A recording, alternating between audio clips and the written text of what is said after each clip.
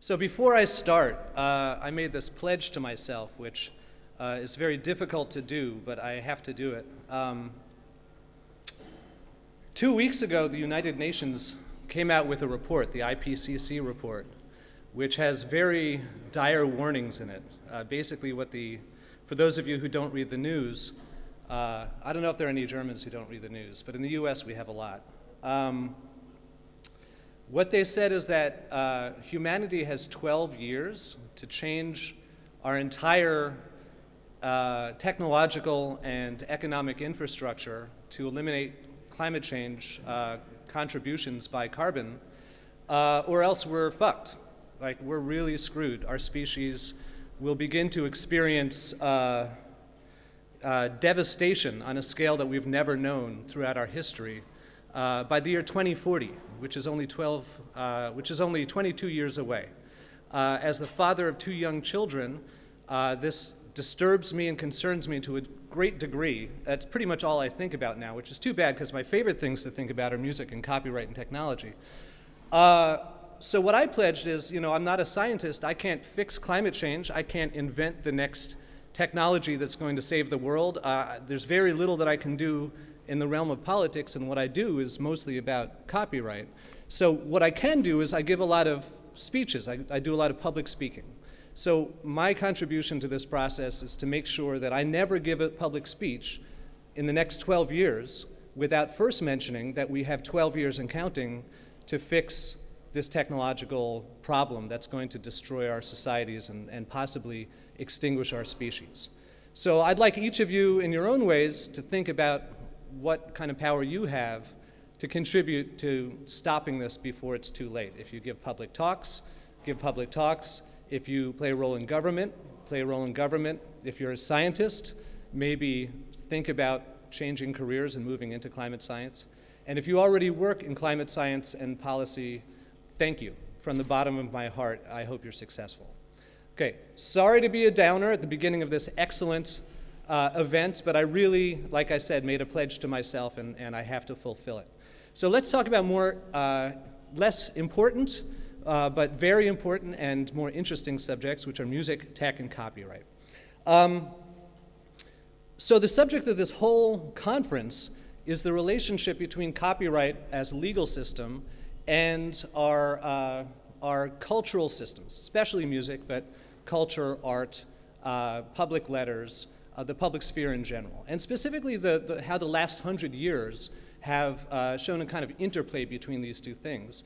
Fortunately, that's exactly what my talk is about. I'm going to go a little bit further back and I'm going to talk about a little bit more than just music and copyright, but you'll see.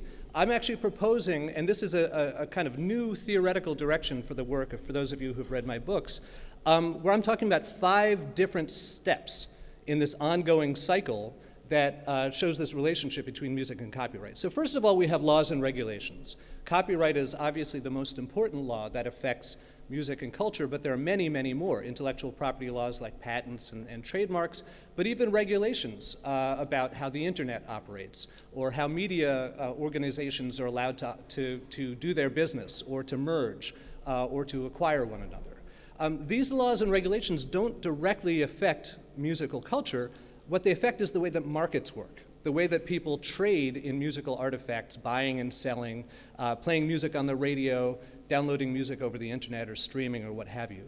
These market dynamics shape the kinds of musical codes and musical practices that both musicians and audiences, although I think there's not as much of a difference between those two as some people would think, um, that was a large part of what my book Mashed Up was about.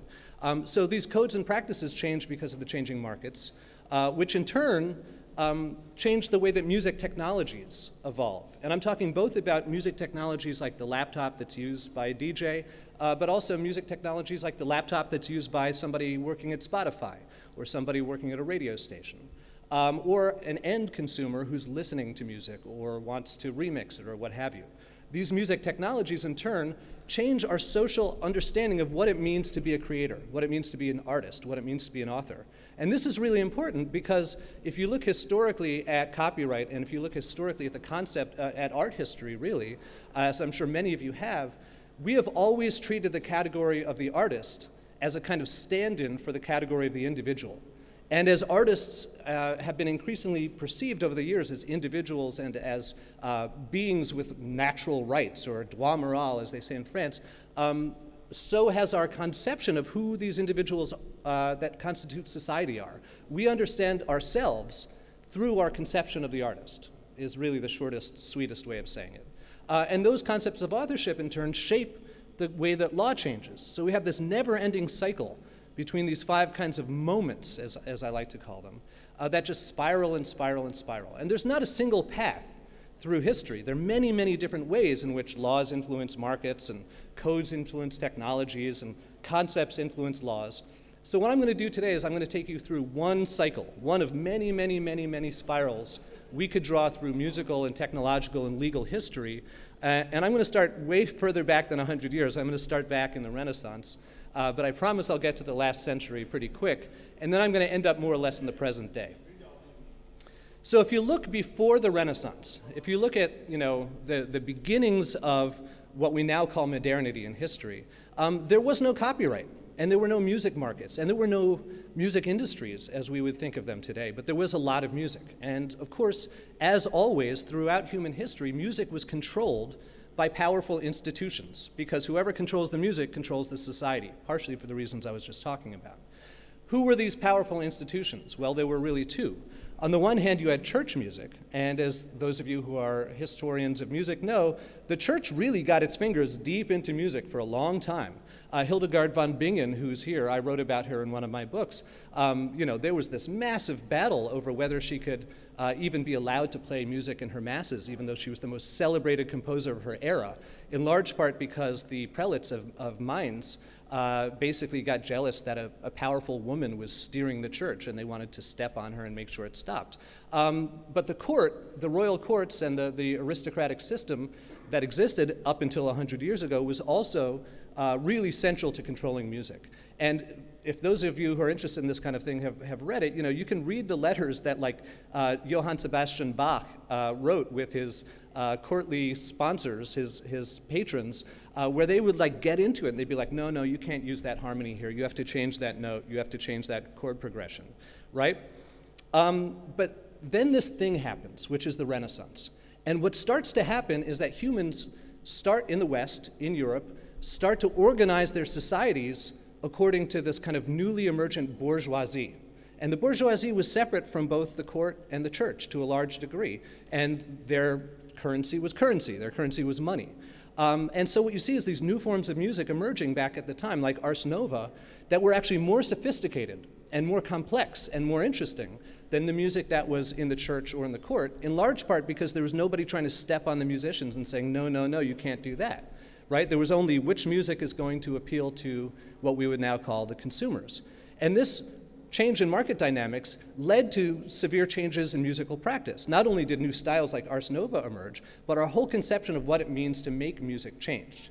And one of the things that we saw was a division of labor between the people responsible for writing the music, the composers, and the people responsible for making the music into sounds, the performers.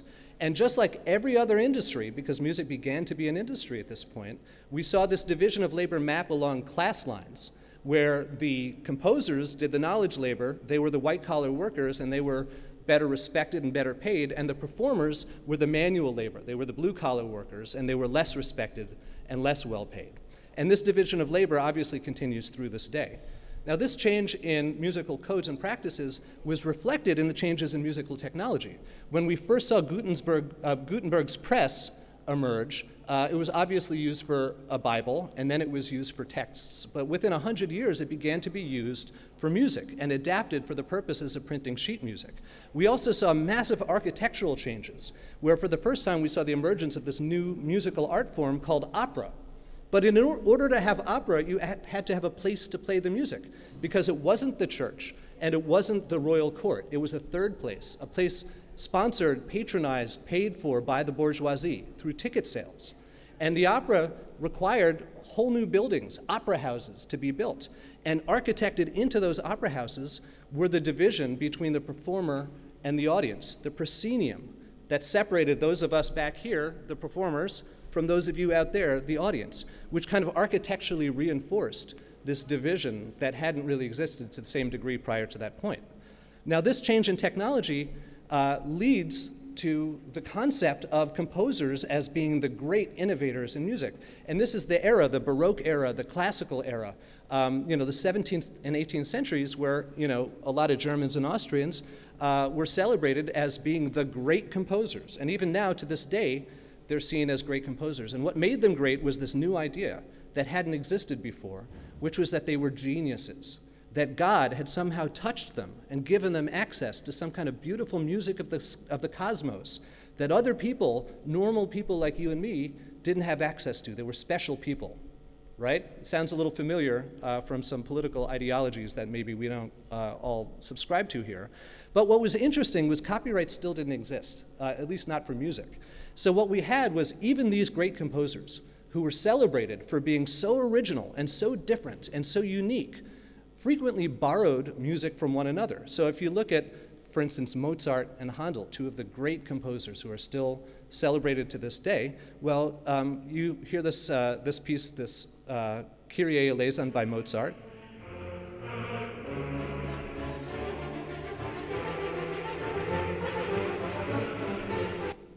Well, it turns out that was pretty much directly borrowed from Handel.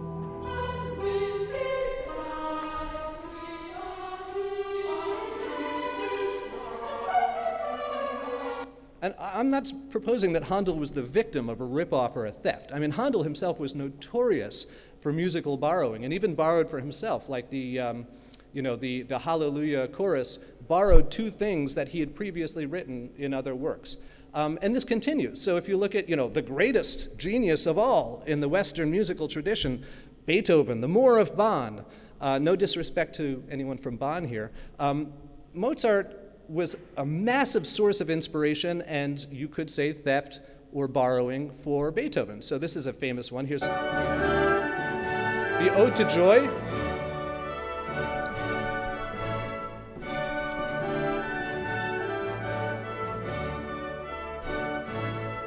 What a beautiful melody. Only the genius of Beethoven could have created this perfect melody. Only it was the genius of Mozart.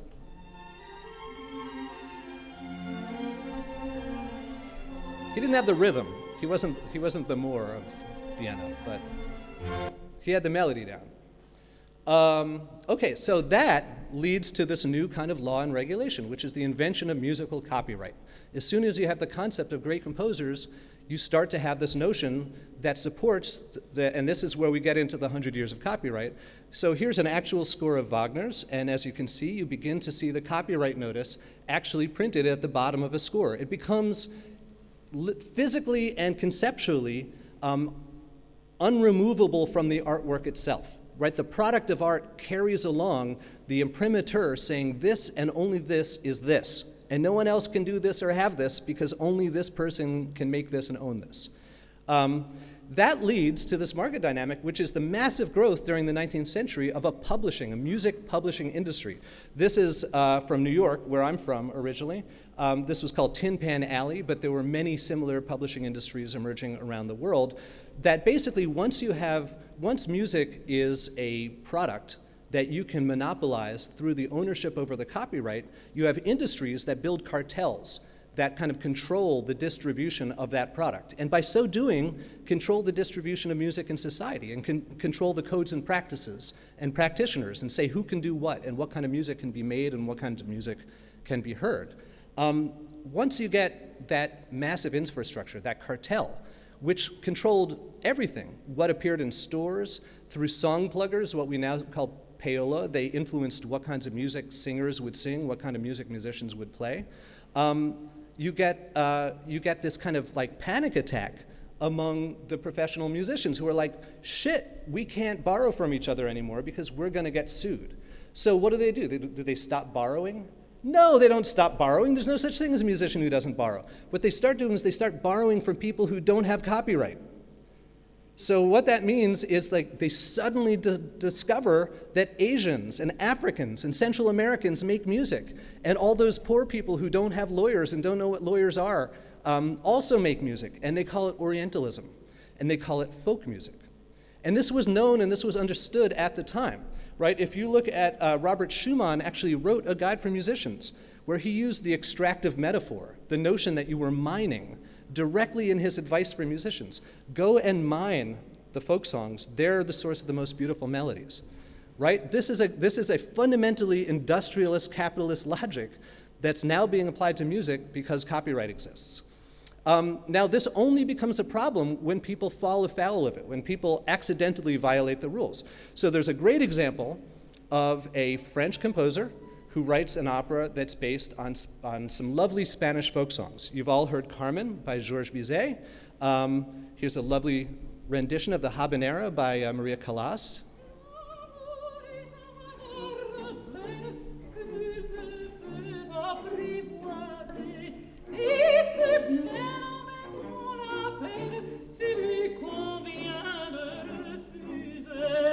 This song was a massive hit. It was an international sensation. As soon as the opera debuted in 1875, like internationally, people went bonkers for it. Like everybody who had a piano had to have a copy of the sheet music, uh, and you know that made a bonanza for their publishing empire behind uh, behind Carmen. The only problem was that uh, Bizet didn't take it uh, as he probably thought he did from a, uh, an anonymous and non-lawyer knowing Spanish folk musician. He got it from a well-known Spanish composer named Sebastian Iradier. Chinita mia ben aquí, que tú ya sabes que morro por ti.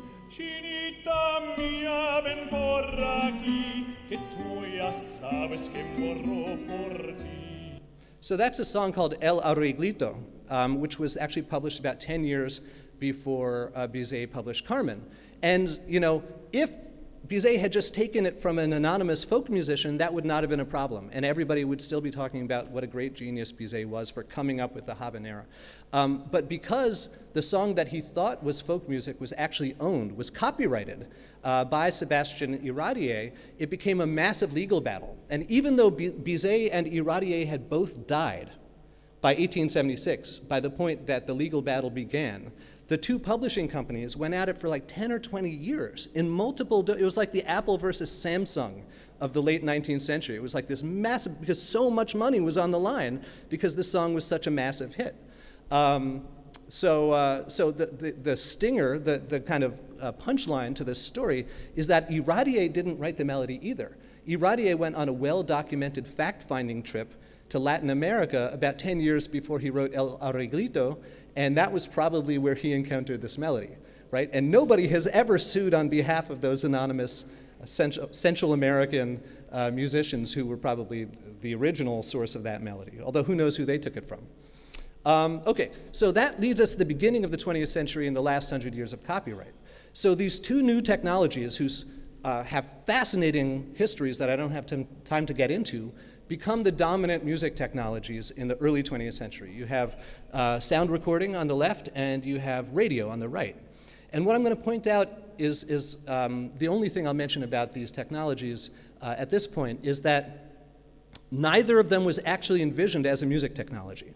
When Edison first created his wax cylinders that recorded sound, he actually published a list of things that he thought people could do with a phonograph. And he said, well, you could learn a language, or a wealthy businessman could fire his secretary and use it to dictate letters. Um, or you could have books read out loud to you. Oh, yeah, and you could have music, and you could have this thing and that thing and the other thing. Like, music was way down on the list for Edison. Um, and for radio, for those of you who know some of radio history, I know Larissa Mann, DJ Ripley is in the back row over there, and she's, she's worked a lot on the subject of low power FM. Radio began as a peer to peer medium where hundreds of thousands of people in the US alone would get on their homemade radio sets, each of which was both a sender and a receiver, and they would have conversations and play music to each other and gossip all night long, every night. And that only ended in the US after the US government stepped in and basically stole the radio spectrum from the people, first during World War I for military reasons, and then after World War I, in large part because a guy named Herbert Hoover wanted to get in good with the federal government, so he created uh, the federal apparatus to monopolize radio airwaves and led to the kind of creation of radio networks that we still know today. Right? So these are two technologies that had very different purposes when they were created that soon got sucked into this, um, this economic and market structure of stockpiling music and distributing it for profit. Okay, Now, these new music technologies lead to a new concept of authorship, beginning in the right after World War II, when magnetic tape becomes massively available to Americans because it was one, some of our war, war spoils uh, from, from Germany. Um, we started seeing this massive uptick in people who were musicians who didn't create with traditional instruments, but instead created with recording technologies, right? You have John Cage on the upper left, John Lennon and Yoko Ono. Um, anyone know who's on the lower left here? Very important innovators. Yeah. Les Paul and Mary Ford, absolutely. Yeah. And then on the lower right, say again? Lee Scratch Perry. Show up, Mr.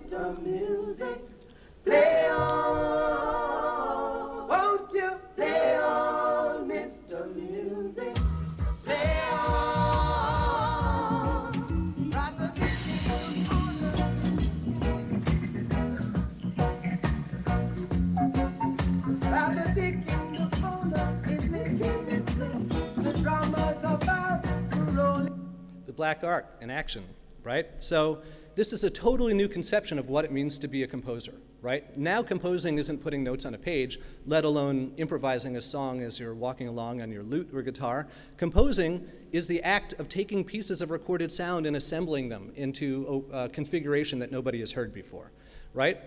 And that leads, uh, for better and for worse, in the 1960s to an international uh, treaty that creates the foundations for a phonographic copyright.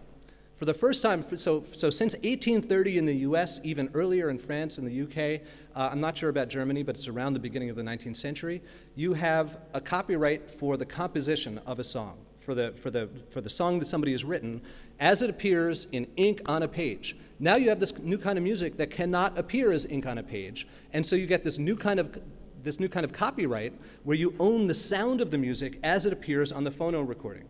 And in the US, this became law in 1972. And I don't know if you guys follow American uh, news outside of the, the blowhard bastard who's destroying our country and our world, um, but this very important thing just happened uh, about a week or two ago, where uh, Congress and the White House enacted a new law called the Music Modernization Act, which basically took all of the music, all of the phono recordings made prior to 1972, which had been in the public domain and belonged to us, the American people, and have now given them retroactively to the corporate uh, um, cartels.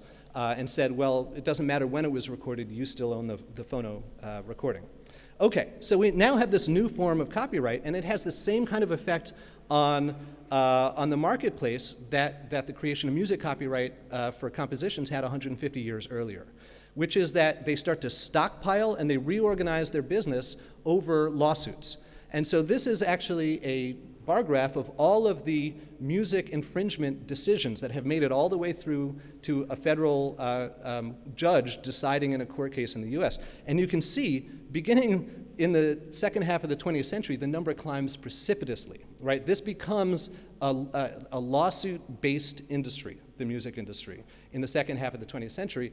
Um, you can see in the first 17 years of, uh, of the 21st century, we've almost hit the same number in the US that we had in the 50 years prior to that. And if it keeps going at this rate uh, without accelerating, it'll be um, 180 lawsuits uh, by 2049.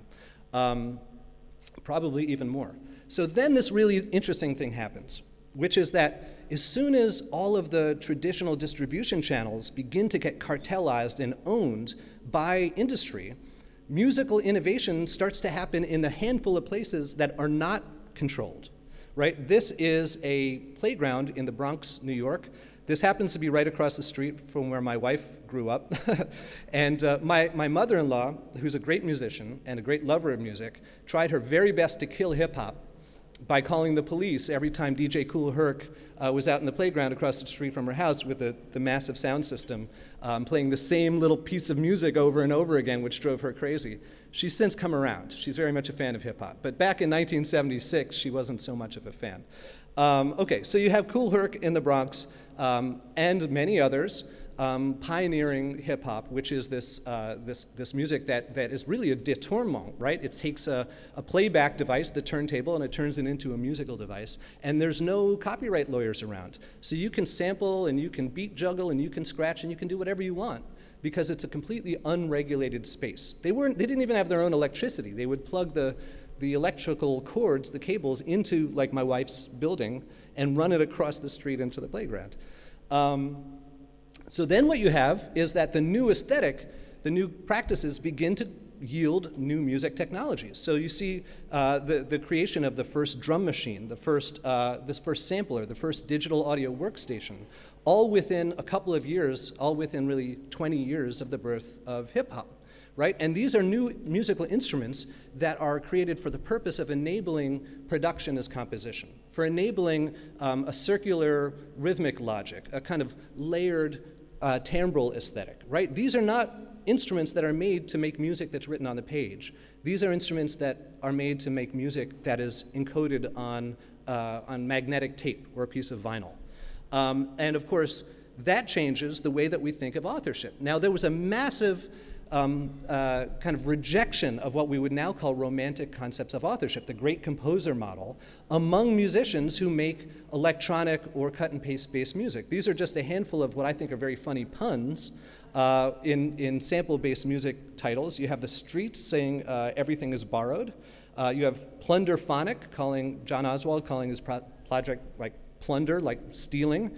Uh, you have the Beastie Boys' first uh, song on their first album, Rhymin' and Stealin'. You have the X-Ecutioners, this is my favorite of them, Built from Scratch. That's like the best double entendre in the history of music, right? Because they're scratching, but in American idiom, built from scratch means built with, uh, with ingredients that are pure, that didn't used to be part of something else, right? So they're playing with this notion of originality because the, the, their mode of musical production rejects the concept of originality. It's impossible to be original in this, in this setting, so you may as well embrace the, the moniker of the pirate, the moniker of, of, the, of the thief. Um, that leads to a big crackdown by the legacy industries, which, through both lawsuits and new laws, try their best to stop people from poaching music without permission. So uh, what that means is the creation of the Digital Millennium Copyright Act uh, and the, the, um, the, the, copyright directive here in the, in the EU. Uh, we see major lawsuits. The only major successful lawsuits for sampling are against African American musicians, by the way, in the United States. This is a highly raced subject. Um, Biz Markie, um, you can. We may as well go home, as I did on my so this is Gilbert O'Sullivan with a very minor hit. Um, and then you can hear what Biz did with it. I'm alone again, naturally. Alone again, naturally. So I went into the show and started. And you can say, okay, well, he's even recycling some of the language there. So maybe that is, like, maybe he should have gotten permission, right? Well, let's look at the other major copyright lawsuit that essentially killed sampling in hip hop in the United States. Um, this one begins with.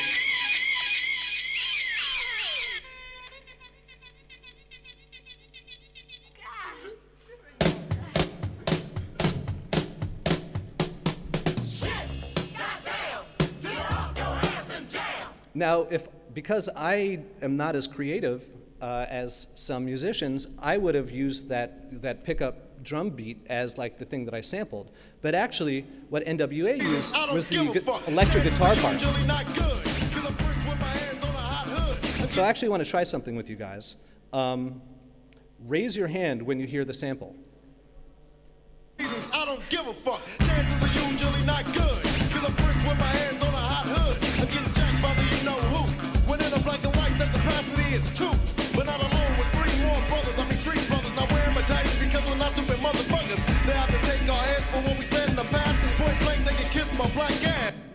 Y'all missed it, right? That guitar, that wow, Eddie Hazel's guitar is in the mix but it sounds like a police siren. You can't hear it. And the only reason they got sued was because they bragged about having used it in order to give props to George Clinton and Eddie Hazel in, in an interview. And then the trolls that own the copyright to, to Funkadelic's music sued them for, for copyright infringement and won. And that essentially shut down all sampling uh, for commercial music in the US for, for 15 years. And the judge didn't cite copyright law exclusively in his decision in the Biz Markie case. He actually cited the Bible. He said, Thou shalt not steal which, for those of you who don't know American law, the Bible has no precedent. Right? American law is not based on the Bible, it's based on the Constitution, which was not cited. Um, okay, so then we have, thanks to these new lawsuits and new powers in the hands of the major labels and the rest of the copyright monopolists in the music field, we got this massive flight of lawsuits uh, in the late 1990s, early 2000s, and I actually have a whole chapter about this in my book, The Piracy Crusade, where I interview all these people who started these really interesting new digital music services in the 90s and the 2000s, and they all have exactly the same story, which is that they create the service. If they ask for permission, the record labels say no, and if they don't ask for permission, the record labels sue them. Either way, the labels ask them for millions of dollars that they don't have and a major stake of equity in their companies. And if they say no, then they go out of business. And if they say yes, they go out of business. Um, and um, which is why so few of these companies, only DatPiff and, and Mixcloud are still, uh, and the Napster brand exists, but not Napster the company. Uh, Mixcloud just signed its first major record uh, label licensing deal like a week or two ago, which is too bad because this is my favorite place to hear new music, and now I'm going to have to find a new unregulated space to find it. What's interesting is when I was writing that book, I actually interviewed the guy who was the head of licensing at Universal, which was the biggest music label, from the mid 90s through the mid 2000s, this guy Larry Kenswil. And I was like, Larry, what are you thinking? Like, you're killing all of these new channels for music distribution that's going to get you all of your new customers. Like, why would you do that? Like, you're literally, like, not literally, but you're figuratively killing the goose that laid the golden egg. And Larry says, and I, I, my, you can, on the recording, you can hear my jaw hitting the table when he said this to me. He said the attitude of the labels at the time was why license them and make a little when you can sue them and make a lot? That's how short sighted music industry strategy is, right? It's all about this quarter, right? These are public companies. How much money are we going to be able to show on our balance sheets this quarter? And of course, it shows that the lawyers in the House, not the A&R people or the, the marketing people, are the ones who are really steering the ship, which is a problem that I don't have time to get into. So what happens? Hip hop dies in the mid 2000s. You get um, you get a real kind of stagnation aesthetically. You get the market starting to stagnate and starting to age, and you have Nas, you know, the apostle of the death of hip hop, proclaiming that hip hop is dead, but it doesn't really die because it's kind of reborn at the same time. But it's not reborn on the radio, and it's not reborn on the internet, and it's not reborn, um, you know, in the clubs. It's reborn in unregulated spaces, just like the place where hip hop was originally born, right? In the US, there's this whole mixtape network that is a sneaker net. It's a physical network of strip clubs and barber shops and corner stores, and that's where the new music thrived. And in, the, in, the, um, in, in Europe, you actually have a similar phenomenon with EDM, which is, of course, now very big business. Um, but that leads to the really interesting change, which is that um, you start to get the, the music that emerges in these unregulated spaces, which are in the American South, begins to take over hip hop culture in general. So I mentioned before, I'm a New Yorker. I come from Brooklyn, New York, right? And my wife comes from the Bronx. And we have a very specific notion of what music from New York sounds like. This is the biggest hip hop song to come out of New York in recent history. You know where I'm at, you know where I be. You run the club just to party. I'm there, I get paid a fee. I be in and out them banks so much, I know they tired of me. Honestly, don't give a fuck about who in front of me. Now, no disrespect, Cardi B is great, but it doesn't sound like New York. It sounds like the American South, right? So the new aesthetic that emerges in these southern um, mixtape networks becomes the dominant global aesthetic for the same reason that hip hop originally became a dominant global aesthetic. It's the one place where the copyright police aren't trying to shut down every new idea that emerges. Um, now that leads to this new uh, set of music technologies, both on the cat side and the mouse side. On the cat side, you have stuff like um, Audible Magic, this fingerprinting technology that gets baked into all of these music platforms so that as soon as you upload something that contains copyrighted content, uh, you're alerted and you might even get your stuff taken down. Here in Europe, you're dealing with this new Article 13 of the, of the new copyright directive, and it's actually mandating that this technology be integrated into every platform, including the ISPs, that you proactively censor the entire internet just in case somebody falls uh, afoul of copyright laws. But at the same time, you also have the mouse. And the mouse is happening on both the creative side and on the distribution side. On the creative side, you have these new digital audio environments like Ableton Live, which are created for working DJs in real time to change and obscure their samples in ways that the old-fashioned digital audio workstations, uh, let alone turntables, weren't that good at, right? Evade the police, hide the sample, change the sample. And at the same time, on the infrastructure side, you have these new privacy services like the Onion Router Tor, which allow you to kind of distribute music in a way that's encrypted, that, that's hidden from the prying eyes of the ISPs. So if you want to distribute something that, that might be censored by them, you can just, and this is a pro tip, you can encrypt it using Tor or a VPN uh, or, or a, a, private channel uh, that's encrypted like Signal, or even WhatsApp. WhatsApp is great for sending things that Article 13 can't flag. One to know. Okay. Then you get this new concept of authorship. We already had the notion that production could be um, composition back in the mid 20th century, but now you have the rise of the so called super producers. And the super producers aren't just producers like Teo Macero, uh, who produced Kind of Blue, or um, you know George Martin, who produced Sgt. Pepper's, which we're going to be hearing a reenactment of in an hour or two, which I'll be very interested to hear. Um, these producers are the primary artists. And when other artists um, participate with them, those artists are relegated to the secondary position of being featured. It's DJ, it's not Justin Bieber, producer DJ Khaled, it's DJ Khaled featuring Justin Bieber, right? So there's an inversion of where the power is in the, in the industry. And now we have an entirely producer driven industry, um, thanks to the prominence of these modes of, of musical production. Now that leads to a change in the laws. So for the last 20, 30 years, we've had these horrible, horrible laws saying that no sampling can ever even be fair use or de minimis, which in the US context are cases where it's legal to use somebody else's work without permission or without paying. Just in the last three years, four years in the US, we've seen three major lawsuits by major artists like Jay-Z, Madonna, and Drake that have found that they have sampled without permission without breaking the law. In the first two cases, Jay-Z and Madonna, the samples were found to be so small that they didn't count, right? They, they weren't big enough samples to be copyrightable, which was a huge win. It's much better than Thou Shalt Not Steal, Biz Markie, right? But with Drake, you actually have the fair use argument, which says that, well, you can hear the sample, but he changed its meaning so that it's something different, and therefore he didn't need permission.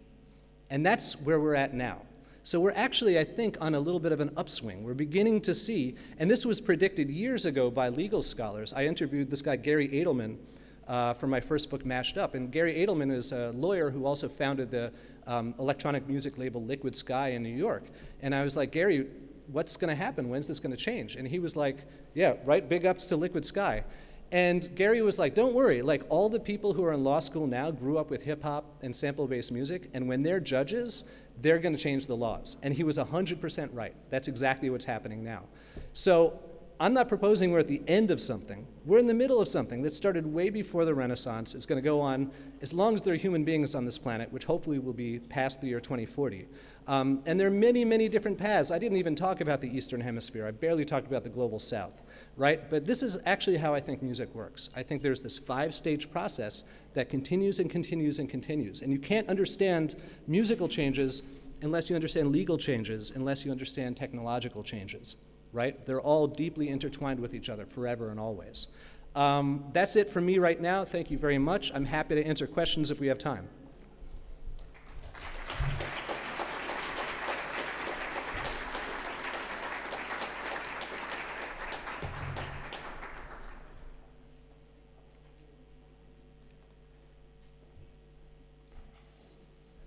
I'm schwitzing up here.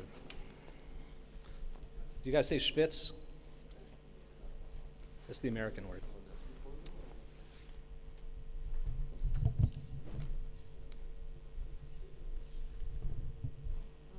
My question is, is um, to me it seems like the people who were sued were black people, people of color. Yeah, that's not a question, but it's true. Um, look, uh, there's, a, there's another story that I could tell, uh, that I don't have time to tell uh, right now, about the ways in which music laws have always been used to oppress, um, to further oppress people who are systematically oppressed within society. And that's not just an American thing, that's, that's throughout history. And it goes way, way back, thousands of years.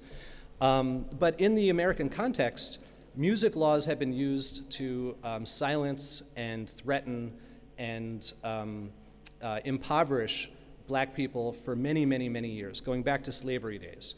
And, um, and there's a shameful history of, of this that goes through the period of what was called minstrelsy, which involved all the blackface stuff that you guys might know, know about. Um, and uh, it, you know, in the early 20th century, American jazz musicians were targeted with, with all of these uh, what were called cabaret laws that basically told them when and where and what they could play. And what was interesting was when I was a young musician in New York in the 1990s, um, Rudy Giuliani, who was mayor of New York at the time, revived these 50, 60, 70 year old racist cabaret laws and started enforcing them again. And that was the point at which New York started to be a place that um, musicians couldn't play as, as freely. Um, so you're absolutely right. And, and there are some interesting contrasts as well. So, for instance, I talked about the, the NWA lawsuit that they lost uh, for sampling that unrecognizable two seconds of, uh, of the Funkadelic guitar solo. Um, at the same time, the Beastie Boys, who were white, uh, were facing a very similar lawsuit uh, by a black uh, avant garde musician named James Newton. Um, and in that case, it was a much more recognizable solo uh, that was much more integral as a sample in the, in the finished product, and they successfully defended their suit. So, yeah, it's, it's, it's definitely disproportionately discriminatory against African Americans. Yes? You with the headphones.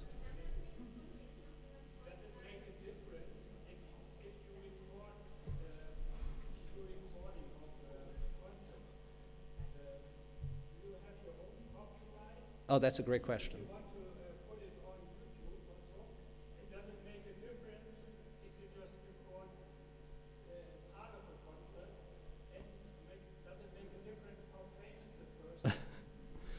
Um, so in, in, the US, you cannot make what's known as a bootleg recording without permission of the performer. Um, but there's a long history of, of, um, of, there being markets for bootleg recordings that are kind of unregulated or underregulated. Um, in some cases, the bands, you know, bands like the Grateful Dead and Pearl Jam have actually historically encouraged their fans to make and circulate and even sell bootlegs. And they, what they figure is that it comes back to them economically in creating new fans and stronger fan communities. Um, but there are other artists who feel the opposite. I've been at concerts, like small. I remember being seeing the great um, reed player um, Don Byron playing at the Knitting Factory in uh, maybe in the 1997 or something, and he just saw like somebody sitting in the front row holding a little mini disc player, and he just got off. He stopped playing, put down his clarinet, got off stage, took the kid's mini disc player, ejected the mini disc put it in his pocket, and gave it back to the kid. And then went back up onto stage and started playing again. Um, at which, which one were you, the, the recorder or the player? Oh, so she was recording you playing? That's amazing.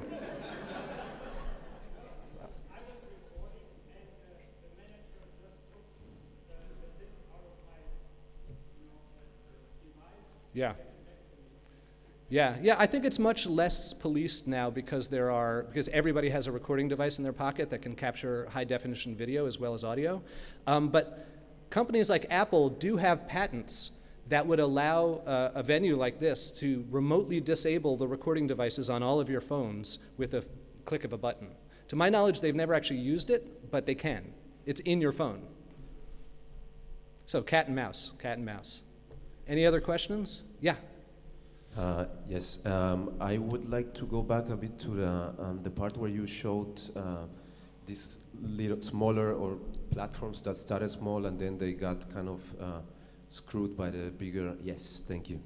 Um, the case of Mixcloud, I would like to um, hear more details about it because if we compare in the last year, like between Mixcloud and SoundCloud, uh, Mixcloud they kind of managed to to keep uh, to keep going on without much trouble. You mentioned something that I would like you to maybe explain a bit more. But sure. SoundCloud, they, they went through some problems and yeah. now they're still uh, uh, above water. But maybe you would uh, could you explain a bit more about uh, the model that they use, Mixcloud, how to keep on above water versus SoundCloud? Yeah, sure. And what I should remind you, and this, is, this I didn't explain enough in my talk, record labels are not monolithic entities. They have different people working in different capacities inside them who have very different opinions and different jobs.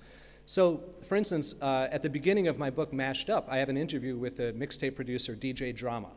And DJ Drama in 2005 or something like that, um, he, he um, like 50 police officers, SWAT teams with guns and dogs came and broke down his door and confiscated all the material in his uh, studio, in the affiliate network studio. And the only reason was in order to find contraband CDs, um, which were mixtape CDs containing copyrighted material. What I found out when I interviewed him is that he had been paid $30,000 by a major record label to include their music on that mixtape. And then that record label went around and hired the police to arrest him for doing what they had paid him to do. Right? That's the legal department on the one side and the promotion department on the other side, right? Working at cross purposes to each other.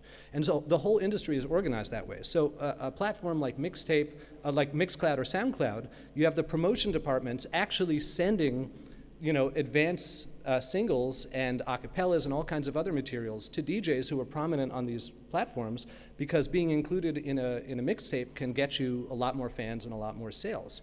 But at the same time, the record labels are trying to license them so that they make money every time anything is played and so that they can't play their music without permission, um, which eventually kills all the networks because there's no business model that allows a Mixcloud or SoundCloud to stay alive if they're paying, you know, um, some kind of industry-determined rate every time they play any song.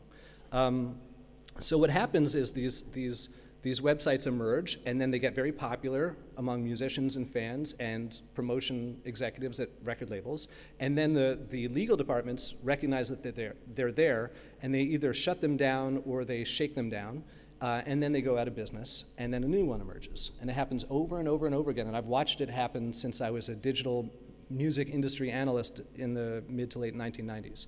And, it, uh, and like I say, if you're interested in that, my book, The Piracy, the Piracy Crusade, is actually available for free online at piracycrusade.com. You can download the whole book. Chapter 7, I tell a bunch of identical stories that happened between the 1990s and the, and the 2010s that, you know, it's exactly the same story over and over and over again. Yes? Hi, everyone. I'm uh, Frank uh, from uh, WOMEX, uh, WOMEX World Music Exposition Platform for Cultural Diversity about Music. I have a question. Uh, what is your stance, what is your opinion about blockchain um, technology coming up? Because I see here the bad players, the yeah. bad intermediates, they can all be cut out for direct exchange between musician and consumer, and then it will, all will be tracked and distributed fairly? Okay, that's a good question. First of all, I want to shout out my friend and colleague Laura DeNardis, who works with me at American University. She got me a T-shirt that says, um, "You had me at blockchain," uh, which I wear all the time, and you did have me at blockchain. So there's there's um, there's a lot of, uh, and uh, I was at an event about this a couple years ago with D.A. Wallach, where we talked through it there's a lot of hope that because blockchain can keep track of every single transaction of any kind, whether it's a piece of music flowing over the internet or a piece of money flowing from one company to another, um, that it can somehow like split the middle between unregulated and hyper-regulated spaces. Uh, the problem with the blockchain dream is that the music industry was built with the expectation that there would be a lot of leakage, that there would be a, a lot of unregulated spaces, right? Just like, you know, every, we don't get arrested every time we break the law. Like, I've crossed the street against the light like 20 times since I got to Berlin last night, and I haven't been arrested any of those times. If they wanted to arrest me every time that happened, let's say they set up a bunch of like low-cost drones with cameras on them, and every time I cross the street, which they probably will, and every time I cross the street against the light, I got like a ticket for $50, I would go bankrupt. Or I would never get anywhere because I'd have to wait for the light every time, and I would have been half an hour late for this talk today right? So systems only work when there's a certain amount of flexibility baked into them. And blockchain doesn't allow for that. There simply is not enough money being generated through musical activity to pay every creator every time any of their creations um, is heard or used by anybody in any way. On top of that problem, and this is more of a problem in the US, fortunately for us Americans, than it is in the, in the EU, we have something called fair use, which is what got Drake out of trouble in the case of uh, Lemon Cake right? Fair use says you can use other people's stuff that's copyrighted and not break the law because you have a First Amendment right to express yourself, and there are all kinds of cases in which um, you know you might be sampling or you might be uh, even you know copying something or storing something. You don't need permission.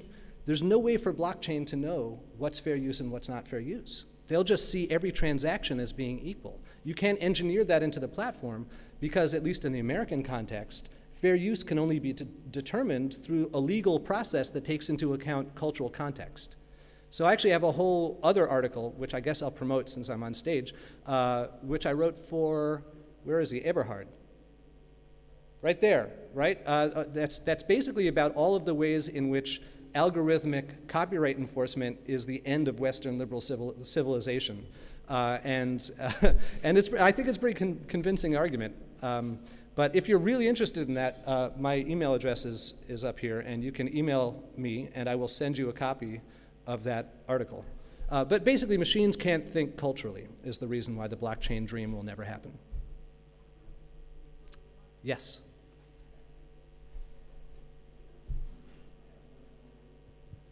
I have a question about licensing, and uh, this time not licensing to distributors, but uh, licensing samples uh, for, for music production. So you had this Bridgeport uh, decision, get a license or do not sample. Right. And it didn't mean the end of sampling. That was the NWA case that I talked about. Yeah, but uh, it meant that um, uh, licensing, that sampling was channeled into the um, big um, music producing companies. Right. So they, they had their in-house contracts um, with um, artists under contract and they could um, use samples uh, from, from their catalog um, or perhaps they could use uh, samples from other companies um, and the legal department um, settle all the claims. Right. Can, can you tell us a bit more about uh, how much money is involved in this licensing market? Sure. So, yeah. And uh, how it transforms the role of the um, sampling musician um, because they are they're forced um, to uh, follow the tracks um, uh, that uh, have been determined by the legal departments. So I'll answer that as briefly as I can because we're probably running out of time. Um, so in America, uh, and in a lot of other regimes around the world, including Germany, if you want to cover a song that somebody has written, you don't have to ask their permission. You do have to pay them, but you pay them a small amount, a mechanical royalty, if you're making a recording, uh, it, that in the US is determined by Congress. And uh, that's affordable. That's baked into the price of doing business. We don't have a similar right for remix in the US, which Lawrence Lessig and others have argued that we should. So if you want to, if you want to sample someone's work, they can charge you as much money as they want right? Now, because most of the work is controlled by major publishers and major record labels, um, they have a, uh, a long-standing practice since, especially since the NWA lawsuit, which basically says that if you want to sample, like only major labels will sample to only other major labels. And they'll ask for, you know, tens of thousands of dollars per sample rather than something that a, a, an independent musician or independent label can afford. And in that way, only hip hop and sample based musics can only be distributed commercially. I'm excluding underground markets here, non commercial markets, can only be distributed commercially through cartels that are well funded and that are willing to play, willing to play nice with each other. Um, and so what happens as soon as that starts to happen is you see the growth of this new hip hop aesthetic, where instead of NWA and Public Enemy and a tribe called Quest and De La Soul and all these kind of early 90s late 80s artists who are like building like beautiful sonic collages, you begin to get hip hop that uses like one sample in a very boring way. Like my favorite bad example is I'll Be Missing You by Puffy. Uh, but everyone has their own favorite bad example, right? But I'll Be Missing You is just the police with a backbeat under it, and then Puffy like being like making some very boring, supposedly heartfelt raps about how much he misses his friend Biggie Smalls. Um, not, not really an interesting song, not, not a classic. Nobody listens to it anymore. It's not a good song, right? And so that's the point at which hip hop starts to become aesthetically stale in the American commercial context, which leads up to that point that, uh, that Nas was talking about when he says hip hop is dead. If you listen to the lyrics of hip hop is dead, it's all about commercialization, it's all about industry cartelization, it's, it's about the spirit of hip hop having been bought and sold, right? And, and frozen.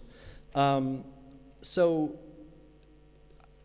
I think that the new lawsuits, um, Jay Z's win, Madonna's win, Drake's win, will probably begin to open the door for independent labels that want to distribute sample based music commercially to do so without licenses within certain parameters. Um, and hopefully that'll lead to more innovation, and I'll start hearing New York music that sounds like New York music and not New York music that sounds like Southern music. No disrespect to Southern music, but there's already a South for that to happen in. I need New York music where New York music is happening. Oh, I think we're out of time. I'll be around. I can't wait to hear the next panel, which is going to be amazing. But after the next panel, uh, let's, if you want to follow up and ask me questions, I'll be here and I'm happy to chat. Thank you again to everybody, and especially to my hosts.